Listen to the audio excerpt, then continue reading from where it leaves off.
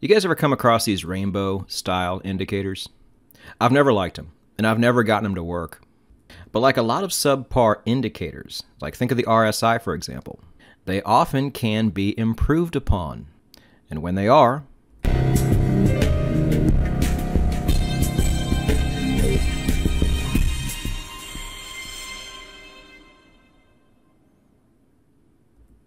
You might have been familiar with the picture I showed you. That is the Guppy's system of trading. And, uh, and yes, I know it's not just an indicator, it's an entire system with rules, all that.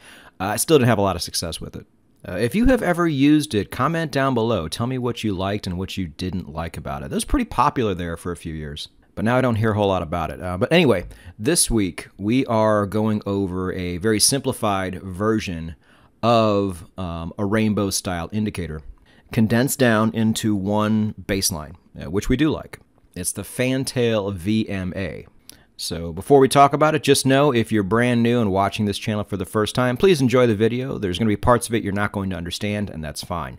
Go to nononsenseforex.com, read that first page, watch that first video, and get started. It will be worth it. Now, moving on to specs. This was created in 2007 and like I said before, it was an attempt to improve and simplify a, another, a different rainbow style uh, indicator. If you want details on that, you're going to have to consult the blog, which I always link down below, as you know. Uh, and as we mentioned earlier, this is a baseline, and it's just a plain old baseline, nothing too spectacular about it in terms of aesthetics. And as is almost always the case with baselines. I don't like them for exits, but you are welcome to try. I do know of traders out there that take a sped up version of a baseline and use that as their exit indicator. Perfectly fine. I just personally choose to do it a different way. So let's take a look at it. Now, what Dan has done here is also added in signals so I don't have to. Thank you, Dan, but I'm to I'm gonna go over them anyway. You guys know, uh, for a long signal when price crosses and closes, beyond the baseline to the upside, that is almost always a long signal. And that was a good one right there. Where's my arrow? Right there. Uh, now for the short signal, Dan has circled the right candle, but your entry would actually be right here for the short. Crosses beyond the baseline and then closes beyond the baseline to the downside.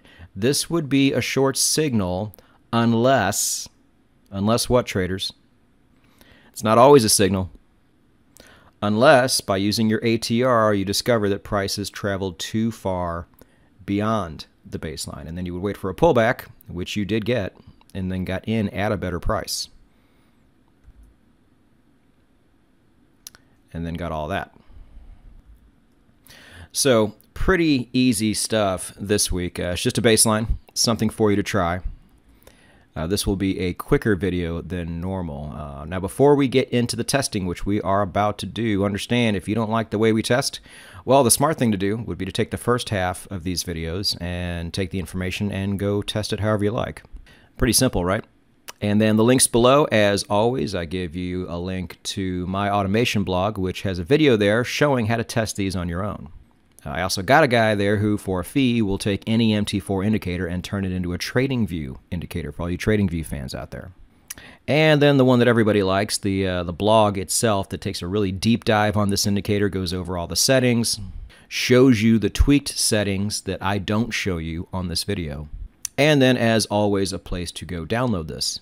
Now, on to the test results. I think personally the most interesting one out there is the euro dollar. Check this out.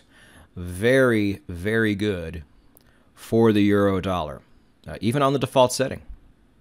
Not so much on the default setting on the 4 hour, but certainly for the daily, which most of us trade here.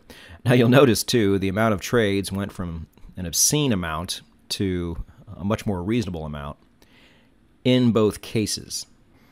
I did say we would talk about this someday. Today is not going to be that day. Um, but for now, it's just something that really jumped off the page in this particular test. Now, on to gold. Again, I would not mind having something like that as my baseline.